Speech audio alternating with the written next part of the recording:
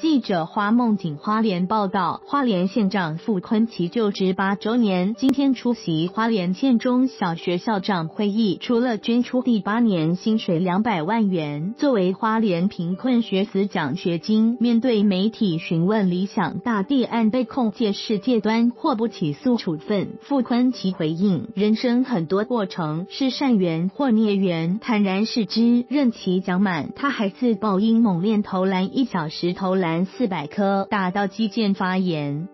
傅坤奇被控涉嫌在理想大地土地纠纷案中，逼迫理想负责人梁清正以低于市价售出二十万平土地，再转手赚两亿余元价差。花莲高分检日前针对借势借端透过全市勒索部分牵协不起诉确定，但还有逃漏税的部分仍在审理中。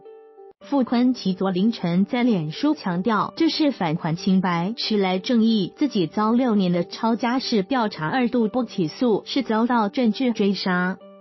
今天上午出席花莲建国中小学校长会议时，傅昆奇除了捐任其第八年薪水两百万元，透过花莲圣天宫帝君庙发给县内六百六十六名清寒学子每人三千元奖学金。傅昆奇说，希望给弱势小朋友鼓励。针对理想案，傅昆奇说：“人生有很多过程，好的、坏的，是善缘还是孽缘？他坦然视之，过去的事情要忘记，明天还有太阳会旭日东升，并且平均公平照耀在每个人身上。他最感谢花莲乡亲不离不弃给他支持，强调我深爱花莲。”